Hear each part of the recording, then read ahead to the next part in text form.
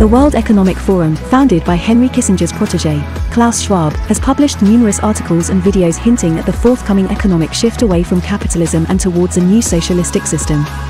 The WEF calls for a fusion of private and public sectors, presumably to bring the world under the control of a centralized technocracy. No more private or public sectors, only the world sector.